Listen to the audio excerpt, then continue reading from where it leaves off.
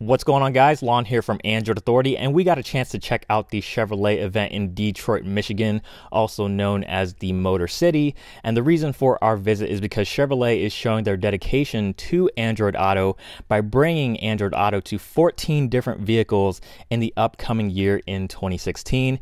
And we got a chance to go hands on with one of the most affordable vehicles, the Chevrolet Spark. What are we looking at here today, sir? What vehicle are we in, and uh, what what are we experiencing? We're in Chevy Spark. We're going to look at the phone projection technology here, which is uh, we're going to sh- start with uh, Android Auto here. So we plugged in this uh, device, plugged in the USB, so we're cabled in. So we're going to get all the communication and the uh, the charging of the phone through there. There's your uh, your Android screen, and it comes up. And what we're doing right now is we're We've provided an interface so that you can work with Android Auto. So the data is going to come from your phone and then going through your, either your cellular connection that you've got on your phone, Yep. or in our cars that are capable of 4G LTE, you can also Wi-Fi pair this phone to the OnStar and get your data coming through there. But the music and the content is all going to come from the phone, and you're projecting it up on the screen here.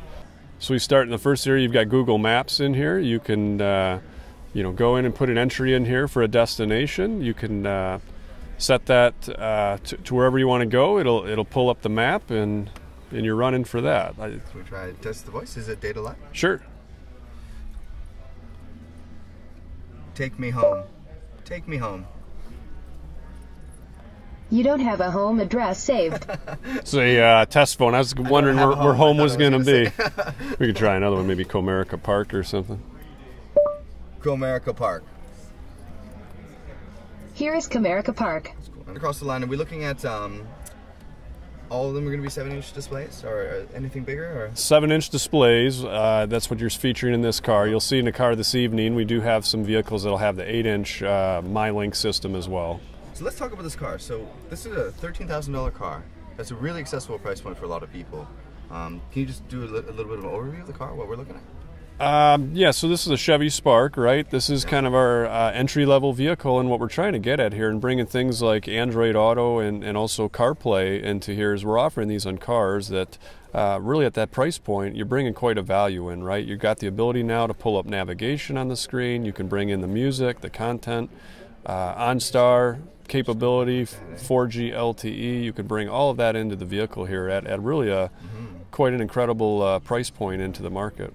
Then you also have the capabilities through the steering wheel controls Okay. here. You can launch Yeah, into uh, Okay, you do voice straight up from voice rack. Yeah, it'll pull it up over there, and you can make your commands there.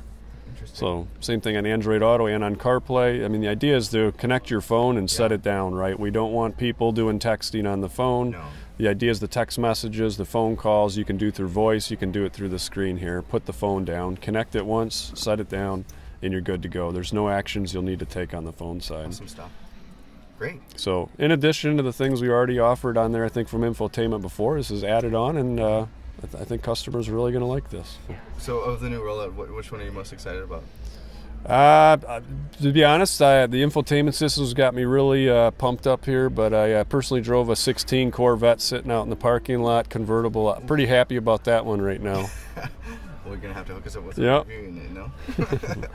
we could talk. yeah. All right. Well, thank you so much. Great. Yeah, Thanks I a really lot. Appreciate your time, Appreciate it.